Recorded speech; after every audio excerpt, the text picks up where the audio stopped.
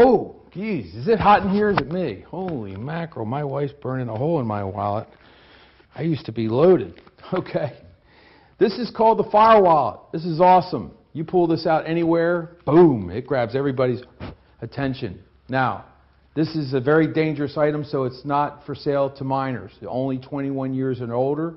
You have to have proof of uh, age. And also, this comes with a DVD, so it makes it ultra safe. Shows you all the principles and keys to you to do safe fire wallet magic. Okay. Um, this is uh, $30 with a DVD, and uh, it's available here at Theater Magic.